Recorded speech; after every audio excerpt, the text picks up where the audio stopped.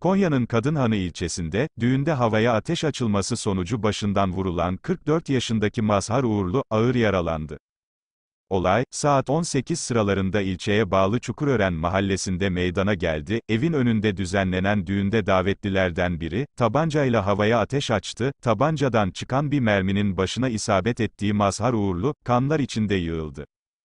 İhbar üzerine olay yerine polis ve sağlık ekibi sevk edildi. Sağlık ekiplerince olay yerinde yapılan ilk müdahalesinin ardından Selçuk Üniversitesi Tıp Fakültesine kaldırılan Uğurlu'nun hayati tehlikesinin bulunduğu belirtildi. Polis, havaya ateş açan kişinin kimliğini belirlemek için çalışma başlattı, düğün ise ertelendi.